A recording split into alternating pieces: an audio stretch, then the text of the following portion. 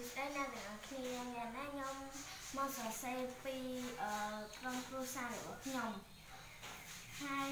អឺយើងសរសេរពីចំណងចំណូលចិត្តរបស់យើងណាតើឥឡូវហ្នឹងយើងទៅសរសេរខ្ញុំមានបងប្អូន